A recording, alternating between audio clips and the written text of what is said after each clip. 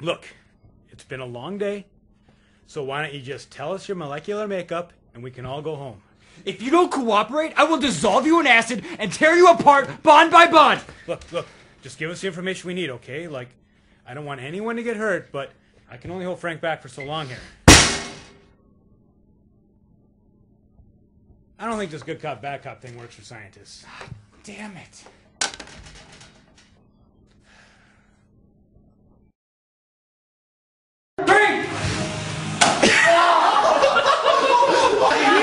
Shot, son.